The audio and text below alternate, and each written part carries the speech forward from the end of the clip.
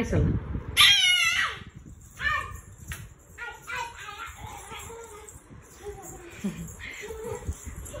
அவள் வந்து இப்போ தான் குளிச்சுட்டு வந்திருக்கா.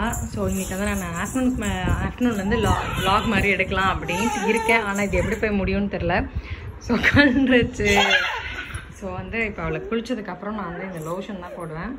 So Sebamed baby lotion so நிறைய பேர் கேள்விப்பட்டிருப்பீங்க. ஸோ இது வந்து ஜெய் பிறந்ததுலேருந்து நான் வந்து இதாக யூஸ் பண்ணிகிட்ருக்கேன் ஸோ லயாக்கும் இப்போ இதுதான் நம்ம யூஸ் பண்ண போகிறோம் ஸோ மேடம் வந்து இது கரெக்டாக அழகாக காமிப்பாங்க. எப்படி காமிப்பீங்க? ஆ, இது என்ன லோஷன் இது யாரோடது? நானும் சொல்லக்கூடாது. லயாவோடது என்னோடது சொல்லு. ஓப்பன் பண்ண நீ அவ்வளோதான் எங்க காணோம்? காணோம். அப்புறம் மூஞ்சில் சிரிப்பே வருது. இவ்வளோ நாள் ட்ரெஸ் மாட்டுறதுக்குள்ள பெரிய ரகலே பண்ணிட்டா. அதனால தான் நான் அந்த வீடியோவே என்னால் எடுக்க முடில சரி நான் போய் இப்போ குளிச்சுட்டு அதுக்கப்புறம் நான் வீடியோ கண்டினியூ பண்ணுறேன் ஓகே உனக்கு பயமாக இருக்காமா? பாப்பா பாப்பா ஜெய் குட்டி இப்போ போய் குளிக்க போகிறான் வந்துட்டான் அவன் விளையாடுறான் நீ ஜெய் இன்னும் குளிக்கல. ஸோ நான் குளிச்சு அதுக்கப்புறம் போய் ஜெய் குளிச்சிருவான். ஏன்னா அவர் வந்து இப்போ செல்ஃபாக தான் குளிச்சுட்டு இருக்காரு அவர் ரொம்ப பெரிய பையன் ஆயிட்டான்.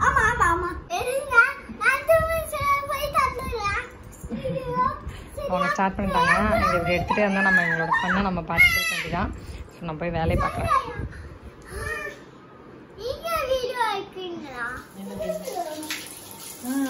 லேக் அடிக்குதா?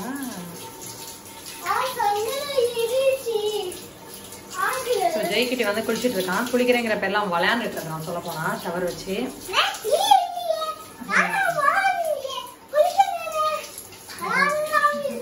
ஆக்சுவலி சம்மர் டைம்ல குழந்தைங்க இப்படி கொஞ்ச நேரம் விளையாட விடுறது ரொம்ப நல்லதுதான்.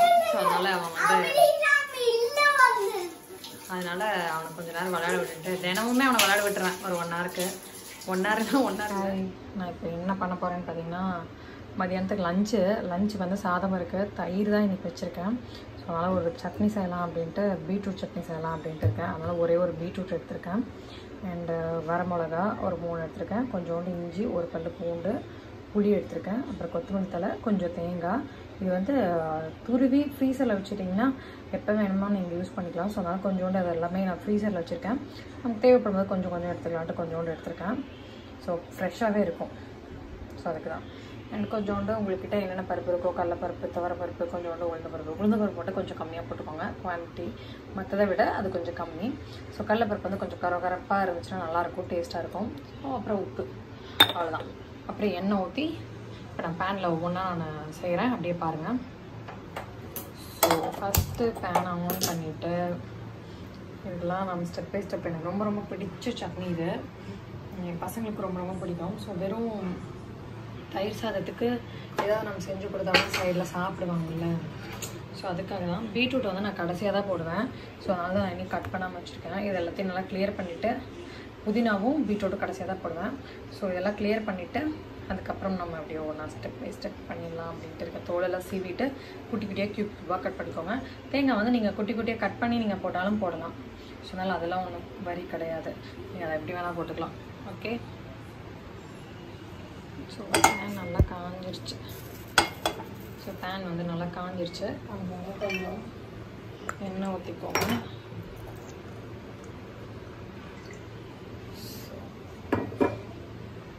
ஸோ எண்ணெய் ஊற்றிக்கிட்டு உங்ககிட்ட இருக்கிற பருப்புலாம் மூணு பருப்பு நம்ம வச்சுருந்தோம் பார்த்தீங்களா அந்த பருப்பு மூணையும் போட்டு லைட்டாக அப்படியே ஒரு ஷெலோ ஃப்ரை மாதிரி லைட்டாக ஃப்ரை பண்ணால் போதும் ரொம்ப பண்ணாங்கன்னா கருகக்கூடாது கூடாது அது கூடயே வந்து இஞ்சி அந்த பூண்டு அந்த வ- மூணு வரமிளகா மூணே மூணு தான் எடுத்திருக்கேன். உங்களுக்கு காரம் வேணும்னா நீங்கள் காரம் போட்டுக்கலாம். நான் பசங்களுக்கு கொடுக்கறதுனால காரம் இல்லாமல் சாப்பிடணும்னு சாப்பிடுவேன் இஞ்சி வந்து தோலோட போட்டிருக்கேன். இப்போ நான் இதெல்லாம் கட் பண்ணி வச்சுட்டேன். நான் கட் பண்ணி வச்சுட்டேன். இதை கட் பண்ணி வச்சுட்டு இது அப்படியே நம்ம இது மூணுமே நம்ம ஒன்றா இதை போட்டுட்டு நம்ம ஃப்ரை பண்ணிடலாம். வேண்டியதான்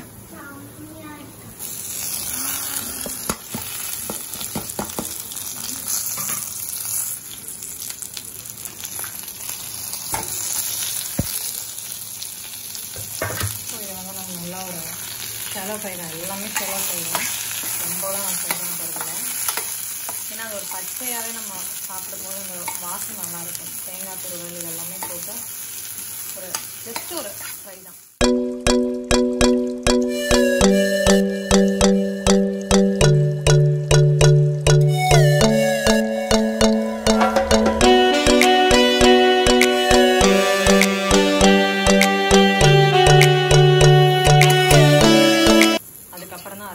ஸோ இது வந்து நல்லா நான் இப்போ ஆஃப் பண்ணிவிட்டு இது நல்லா ஆற விட போகிறேன் நல்லா ஆறிடுச்சு. ஆறோன்னு நான் மிக்சி ஜாரில் நான் ட்ரான்ஸ்ஃபர் பண்ணிட்டேன்.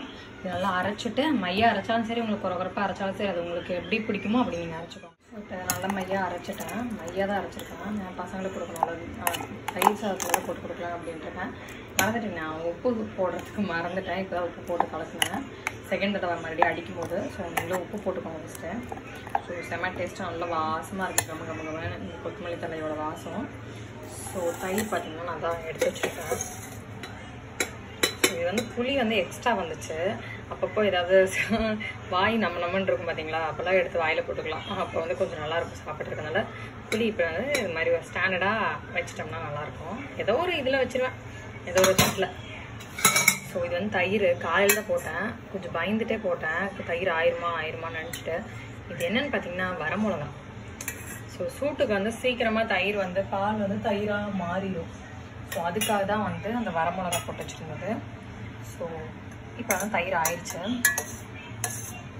ஓரளவுக்கு ஆயிடுச்சோ தெரில ஆனால் ஆயிடுச்சு ஒரு முக்கால் ஒரு நைன்ட்டி ஃபைவ் பர்சன்டேஜ் ஆயிடுச்சு நினைக்கிறேன் ஒரு ஃபைவ் பர்சன்டேஜ் ஆகணும்னு நினைக்கிறேன். பரவாயில்ல நம்ம ஊற்றி சாப்பிட்டுக்கலாம். காலையில் தான் போட்டேன். பரவாயில்ல. ஆயிடுச்சுன்னு தான் நினைக்கிறேன். இருங்க. ஆமாம் ஒரு நைன்ட்டி ஃபைவ் பர்சன்டேஜ் இன்னும் கொஞ்சம். ஃபைவ் பர்சன்டேஜ் இன்னும் ஒரு ஃபைவ் டென் மினிட்ஸ் விட்டோம்னா அது ஆகிடும்னு நினைக்கிறேன். ஸோ நம்ம சாதம் பிணைஞ்ச. ஆனால் பரவாயில்ல நம்ம அப்படியே சாப்பிட்டுக்கலாம். அண்டு இது என்னென்னு பார்த்தீங்கன்னா நம்மளோட என்னது எண்ணெய் ஸ்டாண்டு சின்னதாக ஒரு ட்ரே ஒன்று வாங்கி வச்சேன். அது இப்போ தான் ரீசெண்டாக தான் வாங்கினது நல்லெண்ணெய். இது ரெண்டுமே ஆயில் ஒரு லிட்டர் ஆயில் வாங்கினா ரெண்டே அரை அரை லிட்டராக ஊற்றி வச்சுருவேன். பக்கத்துலேயே உப்பு டப்பா கல் வச்சுருக்கேன். என்ன சாதத்தில் போட்டதுக்காக மறந்துடுவேன் அதனால் அங்கேயே வச்சுருக்கேன். and இது வந்து விளக்கெண்ணெய் விளக்கெண்ணெய் கண்டிப்பாக பருப்புலாம் வேக வைக்கும்போது ஒரு ரெண்டு ட்ராப் போட்டுருவேன். இது என்னடா இங்கே கவுந்துருக்குன்னு பார்த்தீங்கன்னா இது வந்து சாஸ் பாட்டில் இது வந்து கொஞ்சோண்டு தான் இருக்குது ஸோ நம்ம அவசரத்துக்கு நம்ம எடுக்கும்போது போட்டு இப்படி குலுக்கி குலுக்கி தட்டி தட்டி எடுக்க முடியாது இல்லைங்களா? ஸோ அதனால் நான் என்ன பண்ணி வச்சுருக்கேன்னா கொஞ்சோண்டு தான் இருக்குது ஸோ அதனால் இதை அப்படியே கவுத்தி வச்சுருக்கேன். டக்குன்னு நமக்கு எதாவது தேவைப்படும் அப்படின்னா எடுத்து அப்படியே பாட்டிலோட கவுத்திட்டு பாட்டில் தூக்கி போடலாம். ஸோ அதுக்காக தான் அந்த பாட்டில் வந்து இப்படி கவுத்தியே வச்சுருக்கிறேன். வேறு எதுவும் இல்லை. அவ்வளோதான் நான் போய் சாதம் பசங்களுக்கு பிணைஞ்சிட்டு சாப்பிட வேண்டிதான் ஸோ சாதம் ஊட்டிட்டு வரேன். ஸோ நான் வந்து ஜெய்குல் எப்போ தனித்தனியாக பிணைஞ்சிட்டேன். தயிர் ரொம்பலாம் இதெல்லாம் இல்லை. நான் காலையில் ஒம்பது மணிக்கு தான் போட்டேன். இப்போவே பதினொன்று பன்னெண்டே காலாச்சு மணி. ஸோ இப்போ நாங்கள் லஞ்ச் சாப்பிட்டோம். ஏன்னா நாங்கள் காலையில் எட்டு மணிக்கெலாம் டிஃபன் சாப்பிட்டோம். ஸோ அதனால் லஞ்ச் வந்து எங்களுக்கு சீக்கிரம் சாப்பிட்டா எங்களுக்கு பசிப்போம் அதனால் பசங்க கதை பசிக்க ஆரம்பிச்சிருச்சு. ஜெய்க்கு வந்து தனியாக பண்ணிச்சு அவனுக்கு ஸ்பூன் போட்டுட்டேன். லயாக்கு இது ஏன் நான் தனித்தனியாக மோஸ்ட் வந்து நான் தனியாக பண்ண மாட்டேன். ஒரே தட்டில் போட்டு ரெண்டு பேர்த்துக்கு கொண்டா பிணைஞ்சு நான் ஊட்டி இன்கேஸ் நான் இந்த மாதிரி பிணைஞ்சி நான் கம்ஃபர்டபுளாக இருக்குது அப்படின்னா அவங்களுக்கே ஊட் அவங்களுக்கே சாப்பிட்றதுக்கு நான் தனியாக ஸ்பூன் போட்டு கொடுத்துருவேன் லயா வந்து கொஞ்சம் தூக்கத்தில் இருக்கா என் கூட காலையில் நேரமாக எழுந்திரிச்சிட்டா ஸோ அதனால் ரொம்ப தூக்கத்தில் இருக்கா. அதனால நான் ஊட்டி விட்டுட்டேன்னா அவள் தூங்கிடுவா. தனியாக சாப்பிடுனா அவள் சாப்பிட மாட்டா இப்போதைக்கு. ஸோ அதனால் ஜெய்க்கு மட்டும் நான் ஸ்பூன் போட்டு தனியாக வச்சுருக்கேன்.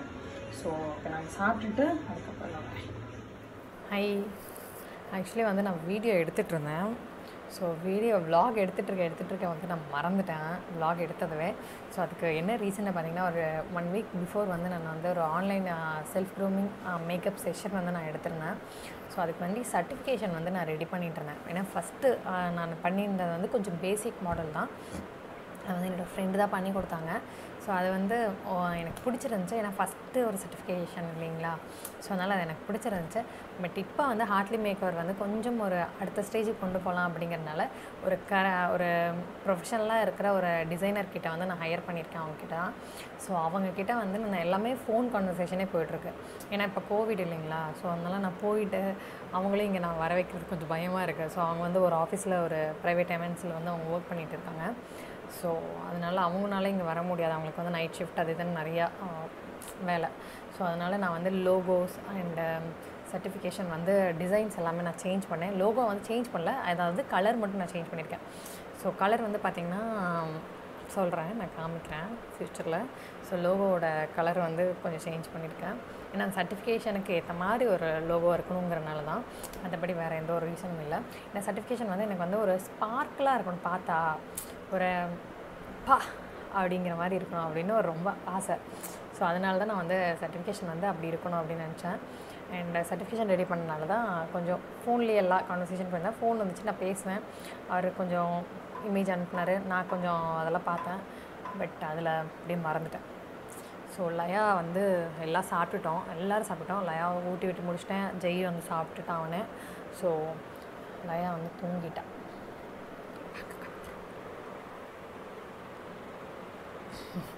நல்ல போஸ்டில் தூங்கிட்டு இருக்கால. ஸோ நான் எங்கே வச்சு எடுத்துகிட்டு இருக்கேன்னா என்னோடய ஜன்னல் கம்பி இருக்குது பார்த்தீங்களா அந்த கம்பியில் வச்சு எடுத்துகிட்டு இருக்கேன்.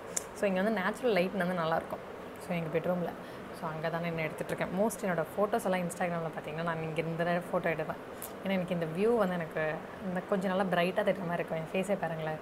ஒன்றுமே போடல. சன்ஸ்க்ரீன் மட்டும் தான் போட்டிருக்கேன். கொஞ்சம் காம்பேக்ட் மட்டும் வச்சுருக்கேன். அது கொஞ்சம் செட் ஆகிறதுக்கு போட்டு வச்சுருக்கேன். அவ்வளோதான் ஸோ நல்லா கொஞ்சம் எலகண்ட்டாக இருக்குல்ல பார்க்குறதுக்கு ஸோ அதனால தான் அண்ட் நெக்ஸ்ட்டு uh, திங் வந்து நான் ஒரு விஷயம் சொல்லணும்னு நினச்சேன். அது சொல்கிறதுக்காக தான் மெயினாக நான் வந்து இப்போ பேசவே நான் உட்காந்தேன் என்னென்னு பார்த்தீங்கன்னா நான் ஒரு ஒரு வீடியோ வந்து நான் போட்டிருந்தேன். என்னென்னு பார்த்தீங்கன்னா குழந்தைங்க வந்து த தலை வந்து ஃப்ளாட்டாக இருக்குது ஸோ அது வந்து ரவுண்ட் ஆகிறதுக்கு என்ன பண்ணணும் அப்படின்னு சொல்லிட்டு அதுக்கு ஒரு ரெண்டு டிப்ஸ் நான் சொல்லி போட்டிருந்தேன். ஸோ அந்த டிப்ஸை வந்து பார்த்துட்டு எவ்வளோ பேர் கொஷின்ஸ் தான் கேட்குறாங்க என் குழந்த வந்து இப்போ டூ மந்த்ஸ் ஆச்சு. டூ மந்த்ஸ் ஆச்சு. அவன் வந்து இன்னும் இதாகலை. தலை வந்து ஃப்ளாட்டாகவே இருக்குது நான் அதை ட்ரை பண்ணிட்டா ட்ரை பண்ணிட்டா ட்ரை பண்ணிட்டா ட்ரை பண்ணிட்டானே தான் சொல்லுங்கள் ஜஸ்ட்டு யாருமே அப்படி கொஷின் கேட்காதீங்க. உங்களுக்கு அது ஒரு விஷயம் ஒரு பார்த்தீங்க உங்களுக்கு கான்ஃபிடென்ட் இருக்குது அவங்க சொல்கிற விஷயத்தில் உண்மை இருக்குங்கிறது உங்களுக்கு தெரிஞ்சிச்சுன்னா ப்ளீஸ் அதை வந்து பண்ணிடுங்க அதை நான் சொல்லுவேன். ஏன்னா ஒரு குழந்தைங்க விஷயத்தில் வந்து நான் நானும் எத்தனை பேருக்கு மெசேஜ் பண்ணுறேன் கண்டிப்பாக பண்ணுங்க டியர் பண்ணுங்க பண்ணுங்க. கண்டிப்பாக இது வந்து க்யூர் ஆயிரும். பண்ணுங்க பண்ணுங்கன்னு நிறைய பேருக்கு நான் மெசேஜ் பண்ணிட்டேன். என்னால் வந்து என்னால் முடிஞ்ச வரைக்கும் நான் பண்ணிட்டேன். ஸோ இப்போ முடியாத பட்சத்துக்கு தான் நான் இப்போ வந்து ஒரு வீடியோவாக நான் அதை மேக் பண்ணி சொல்லிட்டு ஒரு ரெண்டே விஷயம் தான் சொன்னேன். ஒன்று வந்து காலையில் எழுந்தோடனே குழந்தைக்கு வந்து நல்ல ஒரு குட்டியாக ஒரு மசாஜ் ஏன்னா உங்கள் உள்ளங்கை சைஸ் தான் இருக்கும். குழந்தையோட தலை இல்லைங்களா? ஸோ அதனால் காலையில் எண்ணெய் வைக்கும்போது லைட்டாக இப்படி ஒரு குட்டியாக ஒரு மசாஜ் இப்படி பிடிச்சி விடுங்க. ஒரு அமுத்தி விடுங்க லைட்டாக அப்படியே அமுத்தி விட்டிங்கன்னா அது அப்படியே ரவுண்ட் ஷேப்பில் அப்படியே ஆகிடும் நீங்கள் எப்படி அந்த மாவெல்லாம் உருட்டும் போது இப்படி இப்படி இப்படின்னு உருட்டுறோம். உருட்டும் போது அது அப்படியே ரவுண்ட் ஆயிடுது ஸோ அதே கான்செப்ட் தான் தலையும். ஏன்னா குழந்தையோட தலை அப்போ வந்து ரொம்ப ரொம்ப ரொம்ப சாஃப்டாக இருக்கும். ஸோ அப்போ வந்து நீங்கள் இப்படி வச்சு பண்ணிங்கன்னா ரொம்ப சாஃப்டாகவும் இருக்கும். ஸோ அதனால தான் சொல்கிறேன் அண்ட் நெக்ஸ்ட் திங் என்னென்னு பார்த்தீங்கன்னா அது வந்து காலையிலையும் பண்ணலாம் சாயங்காலம் பண்ணலாம். ரெண்டு வேலையும் நீங்கள் பண்ணிங்கன்னா உங்களுக்கு தான் பெனிஃபிட் ஏன்னா ஃபீட் பண்ணுறவங்களுக்கு தான் தெரியும் அந்த கஷ்டம். குழந்தைய படுக்க வச்சுட்டு ஃபீட் பண்ணுவாங்க. அதுவும் சிசரின் ஆனவங்க வந்து எந்திரிச்சு உட்காந்து கொடுக்குறது ரொம்ப ரொம்ப கஷ்டம். ஸோ அதனால் படுக்க வச்சு தான் நம்ம ஃபீட் பண்ணுவோம். ஸோ நிறையா விஷயங்கள் இருக்குது ஸோ அதனால் குழந்தையும் படுத்துகிட்டே தான் இருப்பாங்க மோஸ்ட்டு ஸோ அதனால தான் நான் சொல்கிறேன் ஃப்ளாட்டாக இருக்கிறவங்க ரொம்ப ஃபீல் பண்ணாதீங்க. இதை பண்ணுங்கள் அண்டு இன்னொரு விஷயம் நான் என்ன சொல்லியிருந்தேன்னு பார்த்தீங்கன்னா பாய் கோரப்பாய் இருக்குது பார்த்தீங்களா? கோரப்பாய் வந்து ஏதாவது உங்களுக்கு இப்போ சிட்டிக்குள்ளேயும் கிடைக்கும். செக் பண்ணி பாருங்கள் இன்கேஸ் கிடைக்கல அப்படின்னா ஏதாவது ஊர் சைடு போங்க. உங்கள் ஊருக்கு பக்கத்தில் ஏதாவது ஒரு கிராமம் இருக்கோ இல்லை எங்கேயாவது இருக்கும் அங்கே போய் கோரப்பாய் வச்சுருக்கிறவங்க கிட்ட போய் வாங்கிட்டு வாங்க. கோரப்பாயில் வந்து குழந்தைங்கள போட்டுட்டு தலையை வந்து இப்படி திருப்பி திருப்பி விளையாடுங்க.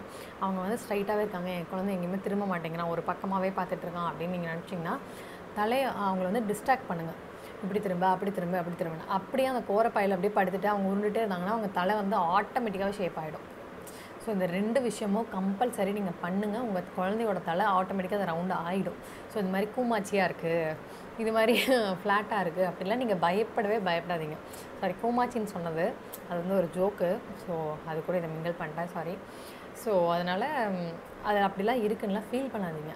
ஸோ அது நியூ மாம்ஸ்க்கு நான் ஸ்பெஷலாக சொல்கிறேன் தயவு செய்து ஃபீலே பண்ணாதீங்க. குழந்தைங்க வந்து நாம் பண்ணுறதுல தான் அவங்க வளருவாங்க. நம்ம பெருசானாலும் சரி சின்னதாக இருந்தாலும் சரி நம்ம பண்ணுற சின்ன சின்ன விஷயங்கள் தான் அவங்கள வந்து மெருகேற்றி மெருகேற்றி மெருகேற்றி நம்ம அழகாக அவங்கள நம்ம கொண்டு வர போகிறோம் ஸோ தான் நீங்கள் ஜஸ்ட்டு அதை வந்து நம்பி பண்ணுங்கள் பண்ணினீங்கன்னா தான் சரியாகும். ஓகேவா அண்ட் நெக்ஸ்ட் திங் இன்னொரு விஷயம் என்ன சொல்லணும்னு நினச்சேன்? ஆ மறந்துட்டேனே. என்னவும் இன்னும் இன்னொரு விஷயம். என்ன சொல்லணும்னு நினச்சேன்? ம். பெல்லி ஃபேட் வந்து ஃப்ளா ஃப்ளாட் பெல்லி வந்து எப்படி வரணும்? அதுக்கு வந்து பெல்ட் நான் யூஸ் பண்ணலாமா? இப்போ குழந்த பிறந்து எனக்கு டென் டேஸ் தான் ஆச்சு மேம் நான் யூஸ் பண்ணலாமா? குழந்த பிறந்து இப்போ டூ இயர்ஸ் ஆச்சு மேம் நான் இப்போ யூஸ் பண்ணலாமா? அப்படிங்கிற கொஷின் எக்கச்சக்கமாக வருதான் அதுக்கும். ஸோ அந்த கொஷினும் என்னால் ஆன்சர் பண்ணவே முடியல. என்னால் முடிஞ்ச வரைக்கும் நான் ஆன்சர் பண்ணேன். ஸோ முடியாத பட்சத்துக்கு இப்போ அதுக்கும் சேர்த்து நான் இப்போ இந்த வீடியோலேயே நான் சொல்லி முடிச்சிடுறேன். என்னன்னு பார்த்தீங்கன்னா ஒரே விஷயந்தான் ஒன்று வந்து ஒரு ஜிம் ஃப்ரீக்காக இருக்காங்க ஃபிட்னஸ் ஃப்ரீக்காக இருக்கிறவங்க கிட்ட போய் கேட்டு பாருங்களேன். இந்த பெல்லி வயித்தை வந்து கம்மி பண்ணுறது பெல்ட் யூஸ் பண்ணலாமான்னு. அறுபது வயசானாலும் அவங்க வந்து பெல்ட் யூஸ் பண்ணுவாங்க.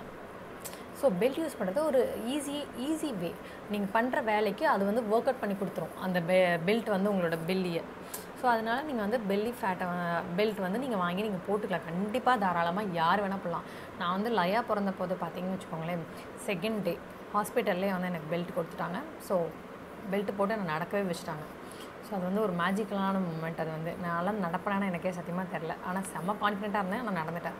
ஏன்னா ஜெய் பிறந்த போது வந்து பெரிய பையன் பிறந்த போது பார்த்திங்கன்னா ஆல்மோஸ்ட் நான் வந்து ஒரு டூ மந்த்ஸ் பெட்டில் தான் இருந்தேன். ஆல்மோஸ்ட் ஸோ நினைக்காத விஷயங்கள்லாம் கண்டிப்பாக லைஃப்பில் ஒரு மேஜிக் மாதிரி கண்டிப்பாக நடந்துடும் ஸோ அதனால தான் சொல்கிறேன் ஒரு பி கான்ஃபிடென்ட் கான்ஃபிடென்ட்டாக இருங்க. நடந்துடும் அண்ட் அடுத்த ஒரு விஷயம் அது என்ன சொல்லணும்னு பார்த்தீங்கன்னா குழந்த பிறந்தோடனே வந்து இது மாதிரி பண்ணலாமா? எனக்கு சிசரின் ஆயிருக்கு நான் என்ன பண்ணுறது ஏது பண்ணுறது நிறைய கொஷின்ஸ் போயிட்டு இருக்கும் எனக்கும் சிசரின் தான். சிசரின் ஆயிடுச்சுன்னா பண்ணலாமா அப்படின்னு. வீட்டில் பெரியவங்க இருந்தாங்கன்னு வச்சுக்கோங்களேன் அது சிசரின் ஆனாலும் சரி நார்மல் டெலிவரியாக இருந்தாலும் சரி வீட்டில் ஒரு துணி கட்டி விடுவாங்க வயிற்றில் அது மாதிரி கட்டி விட்டாங்கன்னா தயவு செய்து கொஞ்சமாக வலியை பொறுத்துக்கிட்டு கட்டிக்கோங்க. அது வந்து பெஸ்ட்டு வே ஸோ அதான் கட்டிக்கோங்க. அண்ட் நான் அனதர் ஒரு விஷயம் இன்னொரு விஷயம் என்னென்னு பார்த்தீங்கன்னா இல்லை நான் பெல்ட் நான் யூஸ் பண்ணுறேன் அப்படின்னா டாக்டர் கன்சல்ட் பண்ணிவிட்டு குழந்த பிறந்த டைமில் நான் சொல்கிறேன் டெலிவரி ஆன டைமில் சொல்கிறேன் ஒரு ஒன் மந்த்க்குள்ளே அப்போ வந்து டாக்டர்கிட்ட கன்சல்ட் பண்ணிவிட்டு பெல்ட்டை நீங்கள் வாங்கிக்கோங்க. அந்த ஒன் மந்த் ஒரு சிக்ஸ் மந்த்ஸ் வரைக்குமே பெல்ட் வந்து டாக்டரோட ப்ரிஸ்கிரிப்ஷன் இல்லாமல் வாங்காதீங்க. ஏன்னா அவங்க ஒரு பிராண்ட் சொல்லுவாங்க. நீங்கள் லோக்கல் பிராண்டில் ஏதாவது ட்ரை பண்ணி அது ஏதாவது அஃபெக்ட் ஆகிற போகுது ஏன்னா நீங்கள் அப்போ வந்து ஃபீட் பண்ணிகிட்ருப்பீங்க குழந்தைக்கு இல்லைங்களா? ஸோ அதனால் ஃபீட் பண்ணுற டைமில் உங்கள் பாடியில் எந்த ஒரு சேஞ்சஸும் வந்துடக்கூடாது ஸோ நேச்சுரலாக நீங்கள் பண்ணுறதுக்கும் நீங்கள் போய் பா ஃபிட்னஸாக கரெக்டாக நீங்கள் வந்து ஜிம் போய் கரெக்டாக நீங்கள் வந்து ஒர்க் அவுட்ஸ் பண்ணி உடம்ப ரெடியூஸ் பண்ணுறதுக்கும் உட்காந்த இடத்துல நம்ம பெல்ட்டை போட்டு அது கம்மியாக கம்மியாகும்னு சொல்லிட்டு இருந்தால் நடக்குமா? ஸோ அதனால் அதில் ரிஸ்க்கு ஸோ அதனால் டாக்டர்கிட்ட கன்சல்ட் பண்ணிவிட்டு எதனாலும் போடுங்க. அண்ட் இன்னொரு விஷயம் என்னென்னா பெல்லி ஃபேட் வந்து கம்மி பண்ணுறது வந்து சாதாரண விஷயம்தான் ரொம்ப ரொம்ப சாதாரண விஷயம். அது பெண்களுக்கு வந்து நார்மல் வந்து. குழந்தைங்க பிறக்கும் போது வந்து அந்த குழந்தை வெளியே வந்ததுக்கப்புறம் அந்த வயிறு எங்கே போகும்? நம்மக்கிட்ட தான் இருக்கும். ஸோ அது வந்து கம்மி பண்ணுறதுக்கு இது மாதிரி சின்ன சின்ன விஷயங்கள் நம்ம ஃபாலோ பண்ணோம்னா அது கண்டிப்பாக கம்மி ஆகிடும் ஸோ அதனால் don't worry don't worry so அதனால் நீங்கள் பண்ணுங்கள் அண்டு uh, உங்களுக்கு நான் இன்னொரு அப்டேட் சொல்லணும்னு நினைக்கிறேன். என்னென்னு பார்த்தீங்கன்னா கொஞ்சம் கஷ்டமாக தான் இருக்குது நான் வந்து ஃபைவ் கேஜிஸ் ஏறியிருக்கேன் எஸ் ரெடியூஸ் ஆனேன்னு சொல்லுவேன் நீங்கள் நினச்சிருப்பீங்க. பட் நான் ஃபைவ் கேஜிஸ் நான் ஏறியிருக்கேன். அது ஏன்னு கேட்டிங்கன்னா நான் ஒரு ஃபைவ் மந்த்ஸ் பிஃபோர் நான் எங்கள் அம்மா வீட்டுக்கு போயிருந்தேன். ஸோ கோயம்புத்தூரில் இருந்தபோது வேலை வேலைக்கு சாப்பாடு உட்காந்த இடத்துலையே நோகாமல் நோம்பு கும்பிட்டேன். உட்காந்த இடத்துலையே தான் இருந்தேன். நிறைய சாப்பிட்டேன் நிறைய சுற்றினேன் ஸோ கிடைக்கிறதெல்லாம் சாப்பிட்ருக்கேன் சாட் ஐட்டம்ஸ் அது இது அது இதுன்ட்டு. ஸோ ரிசல்ட் வந்து ஃபைவ் கேஜிஸ் ப்ளஸ் ஆகிருக்கேன் ஸோ என்னோடய ஒரிஜினல் வெயிட் நான் சொல்ல மாட்டேன். ஏன்னா என்னை பார்த்தா அவ்வளோ வெயிட் இல்லை அப்படிம்பாங்க. நம்ம வெயிட்டை சொன்னோம் ஐயோ இந்த பொண்ணு இவ்வளோ வெயிட்டா அப்படிம்பாங்க. இதெல்லாம் நமக்கு தேவையா? ஸோ அதனால் நான் வெயிட் சொல்ல மாட்டேன். ஆனால் நான் ஃபைவ் கேஜிஸ் நான் ஏறி இருக்கேன். ஸோ அந்த வெயிட்டை வந்து நான் இப்போ ரெடியூஸ் பண்ணணும். ஸோ பார்த்தீங்களா தெரியுதா? இங்கே பார்த்தீங்களா எக்ஸ்ட்ராஸ் எப்படி தொங்குது பார்த்தீங்களா இதெல்லாம் தொங்கக்கூடாது. இதெல்லாம் எக்ஸ்ட்ராஸ் என்னை பார்த்தா வந்து நீ கரெக்டான உடம்பு தானம்மா அப்படின்னு சொல்லுவாங்க. பட் எனக்கு தான் தெரியும். என்னோடய ட்ரெஸ்ஸஸ்லாம் கூட எனக்கு ஃபிட் ஆக மாட்டேங்குது. ஸோ அதில் எனக்கு எவ்வளோ கஷ்டமாக இருக்குன்னு எனக்கு தான் தெரியும். ஸோ அது ஒன்று அண்ட் இது மாதிரி சொதையெல்லாம் தொங்கக்கூடாது. இதெல்லாம் ஒன்று அண்ட் கழுத்துக்கிட்டலாம் பார்த்தீங்களா இங்கே ஒரு மேடு மாதிரி வருது பார்த்தீங்களா ஷோல்டருக்கும் கழுத்துக்கும். ஸோ இந்த சதை இருக்கக்கூடாது. இது மாதிரி நிறைய நம்மளோட லிஸ்ட் வந்து கொஞ்சம் பெருசாக போயிட்டு இருக்கும். என் காலில் இருக்கிற கொஞ்சம் சதை கம்மியாகணும். அண்ட் முக்கியமாக வயிறு. ஏன்னா நம்ம சாப்பிட்டதெல்லாம் அங்கே தானே போயிருக்குது. ஸோ அந்த வயிறு. அந்த வயிறு கொஞ்சம் கம்மியாகணும். அண்ட் இதெல்லாம் கொஞ்சம் கம்மியாகணும். ஸோ இதெல்லாம் இந்த லாக்டவுனில் நம்ம பண்ணி முடிச்சிடலாம் அப்படின்னு. ஏன்னா கண்டிப்பாக லாக்டவுன் போடுவாங்கன்னு ஒரு நம்பிக்கையில் இருக்கேன் இந்த டேட் இன்றைக்கி நான் என்ன வீடியோ எடுத்துகிட்டு இருக்கேன்? இன்றைக்கி எடுத்துகிட்டு இருக்கிற டேட் பார்த்தீங்கன்னா டுவெண்ட்டி செவன்த்தா டுவெண்ட்டி எயித்தான்னு தெரியலையே. Twenty seventh twenty eighth so twenty eighth so இந்த வீடியோ நான் எப்போ போஸ்ட் பண்ணுவேன்னு தெரில மேபி நாளைக்கு பண்ணிடலாம் இல்லை நாளைக்கு பண்ணிடுவேன் தெரிலங்க எப்போ பண்ணுவேன்னு. அண்ட் இன்னொரு விஷயம் வந்து இந்த லா போன லாக்டவுனில் யாராவது இந்த விஷயத்தை நான் பண்ணியிருக்கலாமே டைமை நான் வேஸ்ட் பண்ணுறேன் அப்படின்னு நினைக்கிறவங்க கண்டிப்பாக இந்த லாக்டவுனில் ட்ரை பண்ணுங்க அதை. ஏன்னா நானும் அப்படி தான் போன லாக்டவுனில் சமைச்சு சமைச்சு கிச்சன்லேயே இருந்தேன். வேலை வேலைக்கு சாப்பாடு வேலை வேலைக்கு டிஃபனு கரெக்டாக மூணு வேலையும் சமையல். இப்போ நம்ம வீட்டில் இவங்களாம் ஆஃபீஸ் போகும்போது நம்ம வீட்டிலலாம் சமைக்கிறது காலையில் எழுந்திரிச்சு டிஃபன் செஞ்சு காலையிலேயே லஞ்சு முடிச்சுட்டு உட்காந்துப்போம். நைட் மட்டும்தான் டின்னரு ஸோ அப்படி தான் ஓடிட்டு இருந்துச்சு. பட் லாக்டவுனில் அது நடக்கவே இல்லை. இதில் எக்ஸ்ட்ராவாக வேறு ஈவினிங் ஸ்நாக்ஸ் ஒன்று ஐயோ ரெசிபி பார்த்து நம்மளால முடியல. ரெசிபி பார்த்து டிஃப்ரெண்ட்டாக அதை பண்ணு இதை பண்ணு அப்படி பண்ணு இப்படி பண்ணுன்ட்டு. முடியல. ஸோ அதனால் இந்த லாக்டவுனில் வந்து அந்த மாதிரி எந்த ஒரு தப்பும் நடந்துடக்கூடாதுன்னு இருந்தாலும் நான் பண்ணுவேன். ஆனால் அந்தளவுக்கு கிச்சனுக்குள்ளேயே கடக்க மாட்டேன். ஏன்னா இந்த தடவை வந்து ஃப- கொஞ்சம் ஃபிட்னஸை வந்து கரெக்டாக மெயின்டைன் பண்ணணும் பாடி மெயின்டைன் பண்ணணும்னு ஒரு முடிவோடு இருக்கேன். அது வந்து என்னையிலேருந்து ஆரம்பிப்பேன்னு தெரில மேபி ஒரு மேபி தெரில இந்த வீக் இல்லை நெக்ஸ்ட் வீக்குள்ளே வந்து ஒரு இன்னொரு ஜிம் ட்ரைனர் வந்து எங்களுக்கு இருக்காங்க எங்களோட ஃப்ளாட்லேயே ஸோ அந்த ட்ரைனர் யாருன்னு பார்த்தீங்கன்னா எங்கள் ஹஸ்பண்டோட தம்பி மாதிரி அவங்க ஸோ அவங்க தான் ட்ரைனரு ரொம்ப க்ளோஸு ஸோ அதனால் எப்படியாவது அவனை பிடிச்சி அவங்கக்கிட்ட வந்து நம்ம கற்றுக்கிட்டோம் அப்படின்னு ஒரு முடிவோடு இருக்கிறேன். ஸோ ஜிம் கோச்சும் நமக்கு கிடச்சிட்டாங்க. லாக்டவுன் ஆகிட்டு அப்பார்ட்மெண்ட்குள்ளே தான் இருக்கணும். ஸோ இடமும் நமக்கு கிடச்சிருச்சு. ஸோ அதனால் நம்ம ப- நமக்கு வேண்டிய ஒரே விஷயம் டைம் ஸோ பசங்களை எப்படி மேனேஜ் பண்ணி சமையல் கிச்சன் வேலை வீட்டு வேலையெல்லாம் முடிச்சுட்டு எப்படி இதெல்லாம் பண்ண போகிறேங்கிறது தான் மைண்டுக்குள்ளே ஓடிட்டுருக்கு ஸோ லெட்ஸி பார்க்கலாம். அதுக்கு நான் எப்படி டைம் ஒதுக்க போகிறேன்னு எனக்கு தெரில ஸோ அது ஒரு விஷயம் கொஷின் ஓடிட்டே இருக்குது. ஏன்னா காலையில் நேரம் போனாலும் பசங்களை பார்த்துக்கணும். ஈவினிங் போனாலும் பசங்களை பார்த்துக்கணும். அது ஒரு தொல்லை தொல்லை இல்லை. கொஞ்சம் கஷ்டம். ஏன்னா நம்மளை பற்றி நம்ம யோசிக்க முடிய மாட்டேங்குதுல்ல. ஸோ அதனால் ஒரு சொன்னேன். அண்டு இன்னொரு ஒரு விஷயம் சொல்லணும்னு நினச்சிட்டு இருந்தேன். யாராவது என்னோட ஆன்லைன் மேக்கப் கிளாஸ்க்கு வந்து நீங்கள் ஜாயின் பண்ணணும். இல்லை உங்களோட கல்யாணத்துக்கு மேக்கப் பண்ணணும் ப்ரைடல் மேக்கப்ஸ் ஏதாவது பண்ணணும் இல்லை பார்ட்டி மேக்கப்ஸ் பண்ணணும் இல்லை வெட்டிங் என்கேஜ்மெண்ட் லுக் பண்ணணும் ஏதாவது ஆசை இருந்துச்சுன்னா கீழே இருக்கிற நம்பருக்கு காண்டாக்ட் பண்ணுங்கள் இல்லை உங்களுக்கு கிளாஸஸை பற்றி ஏதாவது தெரிஞ்சுக்கணும்னு நினச்சிங்கன்னா என்னோடய இன்ஸ்டாகிராமை வந்து பேஜை வந்து ஃபாலோ பண்ணுங்கள் ஹார்ட்லி மேக் ஓவர் அப்படிங்கிற ஒரு இன்ஸ்டாகிராம் பேஜ் எனக்கு வந்து ரெண்டு இன்ஸ்டாகிராம் பேஜ் இருக்குது ஒன்று நம்மளோட யூடியூப் நேம்லேயே இருக்கும். மாமி லைஃப் ஸ்டைல் சந்தியா அப்படிங்கிற நேமில் இன்னொன்று வந்து பார்த்திங்கன்னா ஹார்ட்லி மேக்கர்னு இருக்கும். அதில் வந்து ப்ரைடல் மேக்கப்ஸ் அண்ட் என்னோடய மேக்கப்ஸ் அதை பற்றின டீட்டெயில்ஸ் இதெல்லாமே அந்த பேஜில் போட்டிருப்பேன். ஸோ செக் பண்ணி பாருங்கள் செக் பண்ணி பார்த்துட்டு எதாக இருந்தாலும் என்னை காண்டாக்ட் பண்ணுங்கள் இந்த நம்பருக்கு இன்னொரு விஷயம் ஒன்று சொல்லணும்னு நினச்சேன். முக்கியமான விஷயம். என்னென்னு பார்த்தீங்கன்னா என்னோடய வீட்டில் வந்து மேடு கிடையாது சர்வெண்ட் கிடையாது குழந்தைங்கள பார்த்துக்கிறதுக்குலாம் ஆள் கிடையாது. எனக்கு குக்கிங்க்கு எதுக்குமே ஆள் கிடையாது.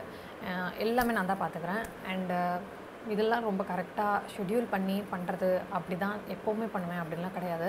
ஒரு டென் டேஸ் பண்ணனா ஒரு டூ டேஸ் படுத்துப்பேன். ஒரு நல்லா ரெஸ்ட் எடுப்பேன். சமைக்க மாட்டேன். ஹஸ்பண்ட் கொஞ்சம் ஹெல்ப் பண்ணுவாங்க. ஸோ அதனால் அவங்க சமைச்சிப்பாங்க.